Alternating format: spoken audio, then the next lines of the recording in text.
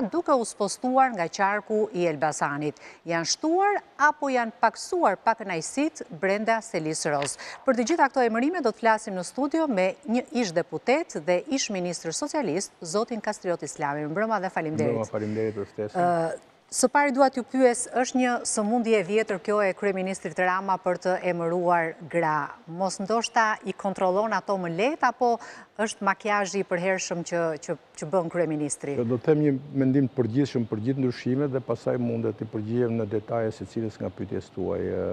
Jam munduar të gjej një emërues të përbashkët, por është e pamundur. Një mendje e sëmurë, perverse, makiavelike, irracionale është e pamundur të analizohet me me si thosh analizë racionale. Pa, është e pamundur. Dhe Kjo është arsyeja që unë më tepër këtë e quaj një një kurth për të futur njerëzit në një debat për të gjetur përse janë bërë këto ndryshimet në këtë. Një debat si ky që po bëjmë bashkë. Si ky që po bëjmë bashkë për të gjetur ndryshimet në një harem eunukësh, konkubinash apo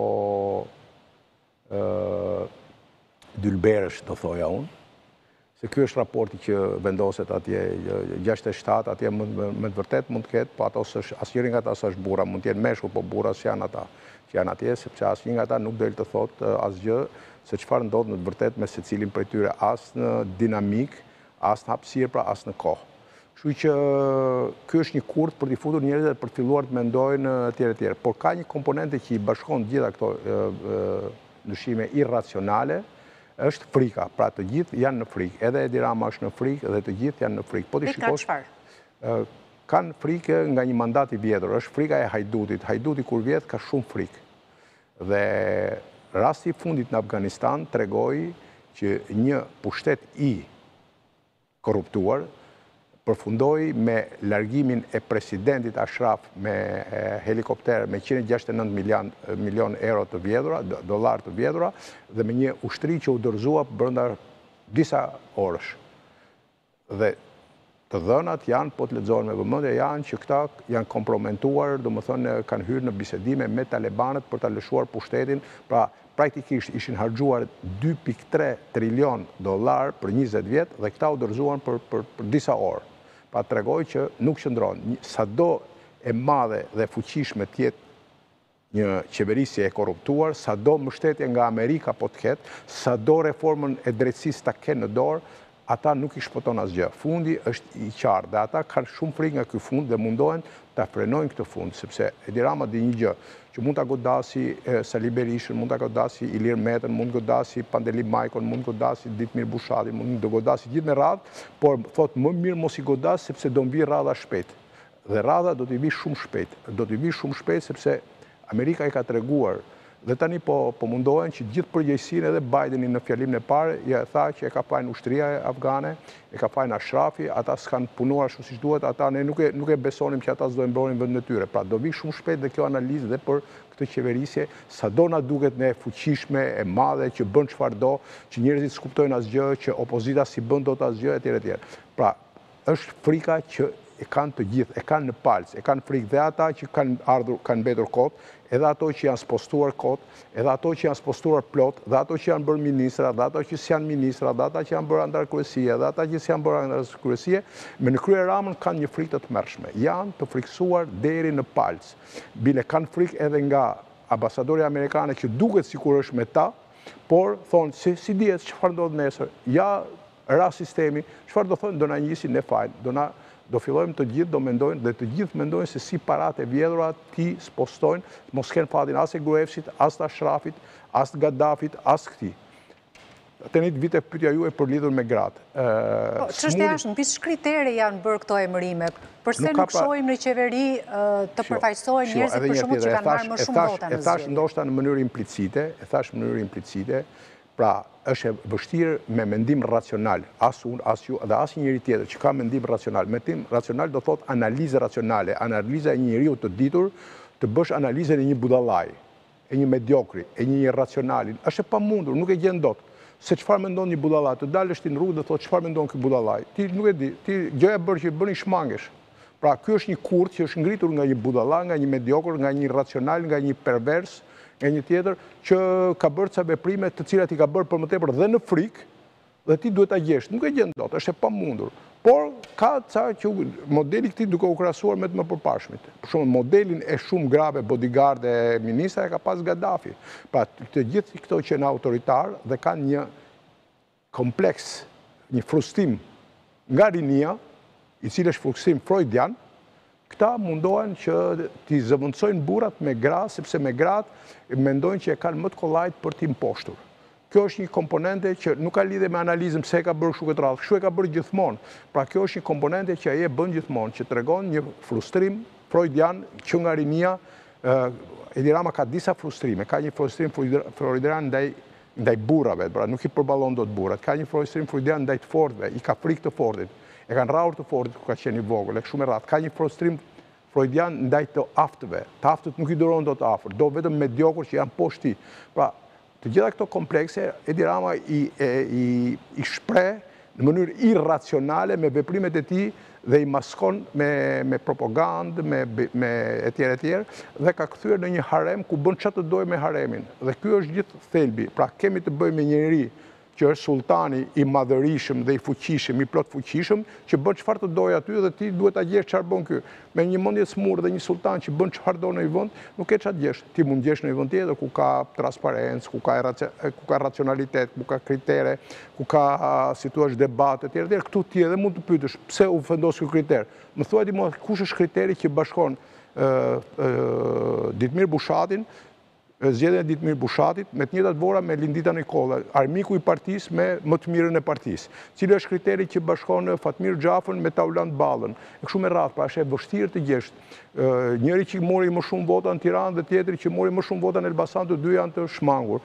Dhe vjen një tjetër që nuk e njeh asnjë parti fare dhe ajo merr po po shumë vota për ministre ose për kryetare apo ose për sekretare. Pra, është e vështirë të gjesh kritere, por ka disa komponente që shpjegojnë sëmundjen e këtij njeriu dhe jam i sigurt që ata që merren me analiza psikologjike dhe psikiatrike janë në gjendje të gjejnë komponentet e sjelljeve të këtij, por që janë sjellje irracionale. Pra, Për një politikan si unë ose një tjetër, kushdo që të jetë e ka të pamundur me analizë, me kritere racionale, racionale do të thotë shkencore, të mënçura...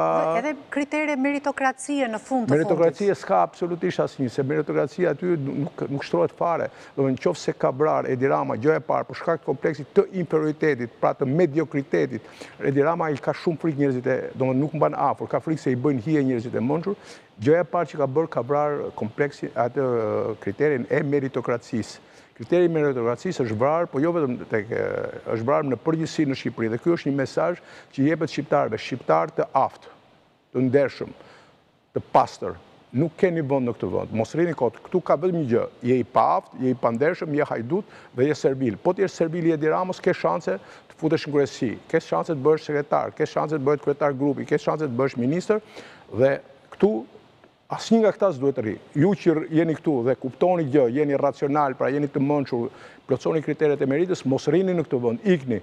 Ndryshe do vuani. Dhe ky është mesazhi shumë i keq. Ndërkohë që sjell edhe afganët akoma për t'i shtyrë këta, sjell edhe bangladeshët i thotë këta nuk bëjnë për punë. Këtu ka pasur, këtu s'ka më mjek, këtu po të jesh në një moshë që ke nevojë për mjek, nuk gjen mjek. Në qoftë se je në një moshë që ke nevojë për hidraulik, nuk gjen hidraulik. Në qoftë se do të gjesh bojaxhi, nuk gjen bojaxhi, për të shtruar pllaka nuk gjen më. Po të gjesh inxhiniera elektrik nuk gjen më, mekanik nuk gjen më. Pra mësues gjen shumë pak ose nuk gjen, janë bërë ato agronomët janë bërë mësues. Dhe ky e bën qëllimisht dhe tashi do fillojë të thotë, e di pse? Se unë do marr bangladeshas. Pra vijnë kompanitë, shkon kompania dhe merr bangladeshas për t'i futur në ndërtim. Pse? Po inxhinierë ndërtimi ka pasur pa fund këtu. Punëtorë ndërtimi ka pasur pa fund, janë mjeshtra të shkëlqyer. Dhe ky e bën qëllimisht që këta të ikin dhe gjithë këta po ikin dhe po, po, po vijnë këta. Dhe kjo nuk është një ikje normale, sepse ka një ikje normale nga një vend i varfër në vend të pasur. Ikin dhe nga Gjermania në Amerikë, ikin dhe nga Franca në Angli e kështu me radhë, po kjo është një ikje anormale. Shqiptarët po ikin më shumë se sa afganët, po ikin më shumë se sirianët, po shkojnë në Europë. Pse? Sepse këtu po vijnë më me shpejtësi, po vijnë afganët, po vijnë sirianët, po vijnë po vijnë bangladeshasit dhe kjo është gjithë problemi. Pra po boshatiset vendi dhe po zëvendësohen shqiptarët. Zoti Islami, në media, pothuajse në të gjitha mediat, gjatë këtyre ditëve që priteshin emrat e e ministrave të rinj, ka qarkulluar lajmi se këto emra nuk do të kalojnë nuk do të publikohen nga Kryeministri Edi Rama pa kaluar më parë sitën e ambasadës Amerikane. Dhe në të vërtetë nga ambasada Amerikane nuk është se pati ndonjë përgënjeshtrim të këtij lajmi. Ju duket e mundur që, apo ju duket normale që të ndodhë një gjë e tillë? Jo, kjo, kjo e para nuk është normale. Në asnjë vend sovran, nuk është normale. Ministri mund të konsultohet me, me disa nga përfaqësuesit e vendeve partnere, lidhur me disa kritere që bëhen fjalë për shembull që keni ju të dhëna për filanin që është i padëshirueshëm ose mund dali i tillë e tjerë e tjerë. Por, në rastin e Ramës kjo nuk është e vërtetë. Rama i ka caktuar të gjithë njerëzit me me si thua, me rekorde kriminale një, me rekorde korruptive dy dhe me rekorde trafik trafiku tre i ka caktuar vetë. Dhe nuk ka pyetur. Kjo është më tepër edhe një alibi që hap Rama për të thënë që unë kam pyetur dhe ambasadën amerikane. Unë nuk ma pret mendja që ta ketë pyetur ambasadën amerikane dhe ambasada amerikane t'i ketë thënë po ose jo për këto emra. Sepse këto emra janë njerëz, sepse i pari që duhet goditur është Ashrafi shqiptar, është Edi Rama. Edi Rama është njeriu më i korruptuar, është njeriu që të gjithë kriminelët që ka sjellë në dy mijë e trembëdhjetë-ën, dy mijë e shtatëmbëdhjetë-ën dhe dy mijë e njëzet e një-shin janë sjellë prej tij nuk kanë ardhur në mënyrë padashje edhe ky bën sikur nuk di gjë thotë të shkojnë të verifikohen jo i ka sjellë ky Megjithatë flitet se ka një listë të Ambasadës Amerikane, një listë emrash të cilëve u është kërkuar të japin dorëheqjen, të largohen nga Partia Socialiste apo të lënë mandatin. Dhe e vërteta është që Të paktën prej disa javësh ka disa largime të çuditshme nga nga politika. U largua Gramoz Ruçi, kemi pasur lënien e mandatit nga Lefter Koka, ndoshta mund të kemi dhe surpriza të tjera, nuk e dimë.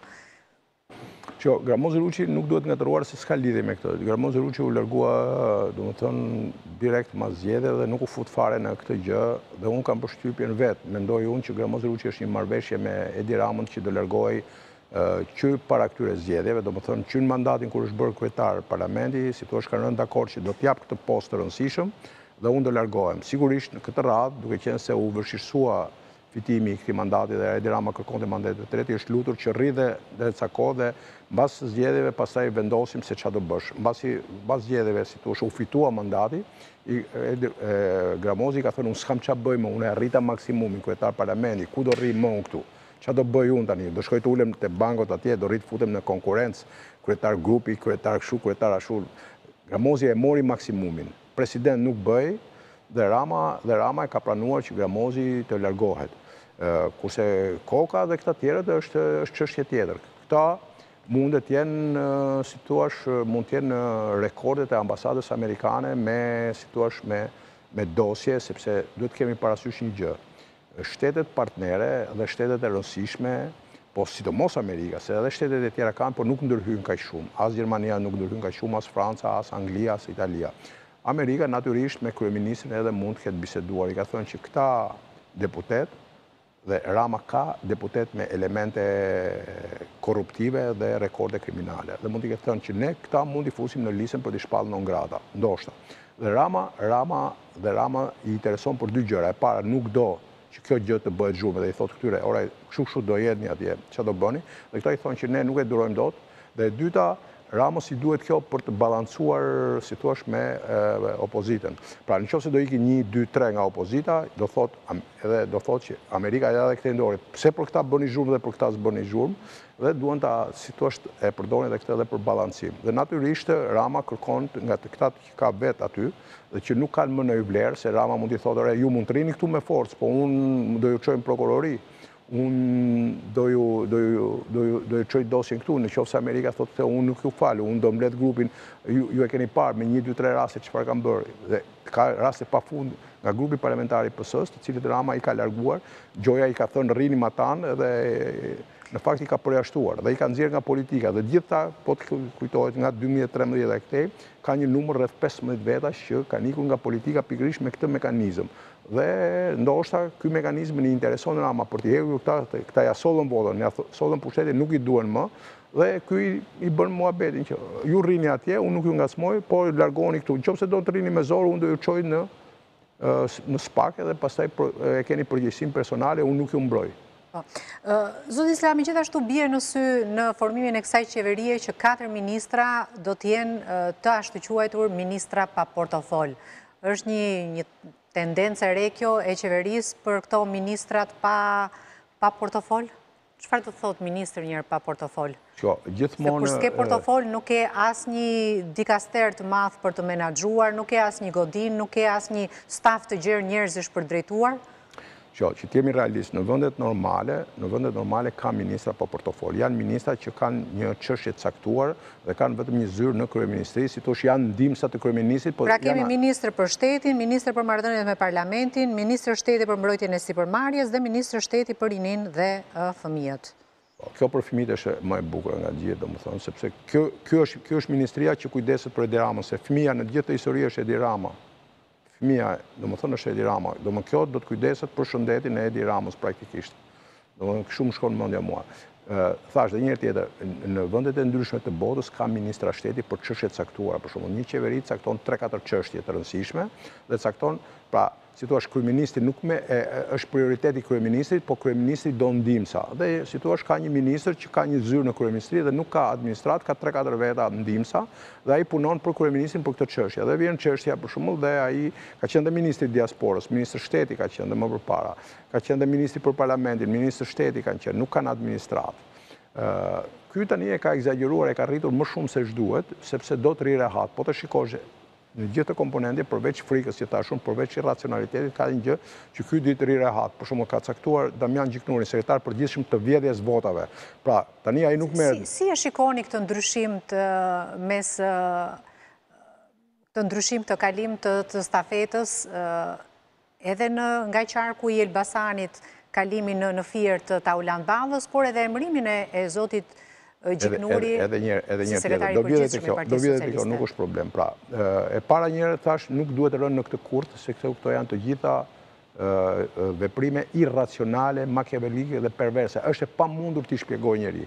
Por po i marrim më konkretisht. Ka vënë Damjan Gjiknurin në sekretar të përgjithshëm, që ky të mos merret, domethënë, ka vetëm Damjanin, vetëm një njeri e merr në telefon ose e thret në zyrë dhe i thotë, shko, vidh votat.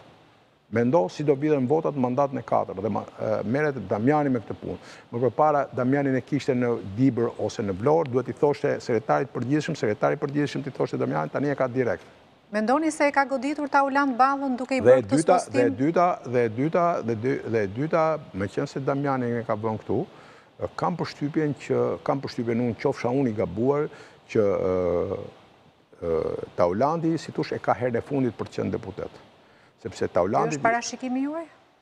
Unë mendoj unë të paktën, thashë dhe një tjetër, është një veprim irracional që e kam të vështirë, por shikoj që sepse Taulantit i ka hequr vështrimin dhe aty ai është mërzitur nga kjo gjë, se po ta kishte thirrur në zyrë do i kishte thënë Taulant, mos u mërzit, ti do nuk do kesh të dyja detyrat, po do kesh një sepse ka pas një rregull që sekretari i përgjithshëm është dhe kryetar grupi. Ai e ka ndarë këtë, pra sekretari i përgjithshëm nuk është më kryetar grupi, kryetari i grupit nuk është më sekretari i përgjithshëm.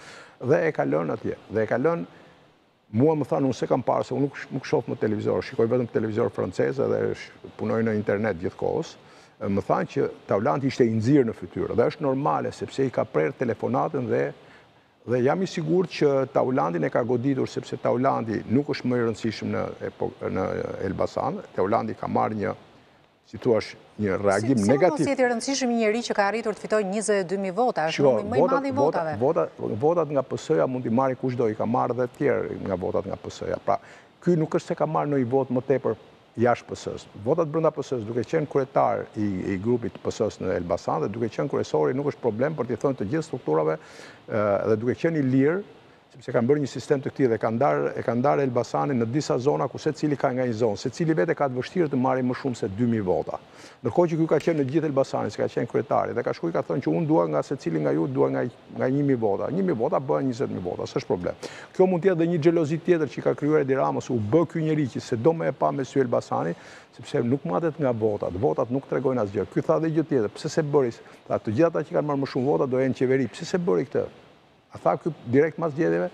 Unë ju, ju them ju se ata që kanë marrë, ajo është e ka, domethënë, ajo për të thënë që ju që i vodhët, unë, unë ju përshëndes dhe do jeni në qeveri, tani nuk e tha më. Pse s'e tha? Pse s'e mbajti këtë premtim? Tregon që, domethënë, veprimi i tij është irracional, domethënë, nuk ka. Dhe Taulandit bien sinjalet që Taulandi është marrë shumë me korrupsion dhe është njeri i urryer në Elbasan. E dyta, Taulanti është njeri i urryer në parti, sepse ka qenë sekretar i përgjithshëm, ka bërë emërimet, aty kanë ardhur llafe që ky është bërë me lekë, ai është bërë me lekë, e qajnë, ankohen njerëzit. Pra ky e ka spostuar aty dhe e ka, ka vendos këtë tjetrin. Ky tjetri ka qenë në Vlorë, e ka heqë nga Vlora, se këtë e urrejnë në Vlorë. me veprimet që ka bërë në Lumin e Vlorës, në bregdet e tjera e tjera, me pasuritë, me pronat, me tjerat, dhe ka hequr, dhe këtë e ka bërë... Ju mendoni se me këto emërime, me këto lëvizje, janë shuar, apo janë shtuar pakënaqësitë brenda selisë rozë, brenda radhëve të socialistëve? Ajo është një bandë eunukësh, Që aty janë të pafuqishëm të gjithë. Ato të gjithë i ka marrë ky, i heq ky, i vë ky etj etj. Sigurisht që pakënaqësitë personale që shkojnë secili në shtëpinë e vet dhe mërzitet, janë. Dhe unë mendoj që pakënaqësitë personale, po të pashprehura, janë rritur. Por asnjëri nga ato nuk ka guximin sepse ato i bashkon kanë një emërues të përbashkët është servilizmi dhe klientelizmi. Dhe paaftësia. Të gjithë ata nuk e meritojnë të jenë aty, absolutisht asnjë. Ata nuk do bëheshin asnjë nga ata mos shifni ju se ka tre mandate që i bën ky jo drejtor këtu e jo kovidi këtu e jo këtu o këtu e jo PPP-ja këtu e këtu ata nuk do ishin bërë po të ishim ne aty njerëz të aftë dhe po të ishim jo ne po dhe ca të tjerë të aftë nuk do ishin bë as nivel drejtori dot asnjë nga ata. Zoti Islami dhe një pyetje të fundit si e parashikoni këtë mandat të tretë katër vjeçar të Partisë Socialiste do të jetë një mandat i qetë me një opozitë që nuk do të bëjë ndonjë betejë të ashpër apo shikon do të parashikoni përplasje? Shiko, unë të thashë dhe një... Do të ketë paqe mazhorancë-opozitë? Sepse u fol më pare edhe për bashkëqeverisje, ose për një bashkëpunim mes tyre? Tani që mos rrimë bëjmë hamendësime të kota, ka një komponente që është e qartë që është shprehur opozita, ka thënë që ne do të çojmë në vend atë që kemi nisur. Nuk e di se sa do e mbajnë këtë fjalë, sepse njerëzit mendojnë që Opozita është e shitur, opozita është e komprometuar e kështu me radhë, unë nuk e besoj këtë. Opozita është një opozitë shqiptare me ato difektet që mund të ketë një parti politike shqiptare në kushtet kur është e dhunuar nga një, nga një parti jo demokratike, nga një parti autoritare, nga një parti që ka shumë para të vjedhura, ka shumë elementë kriminalë, kështu me tepër, dhe për më tepër një, një, një, një lider i cili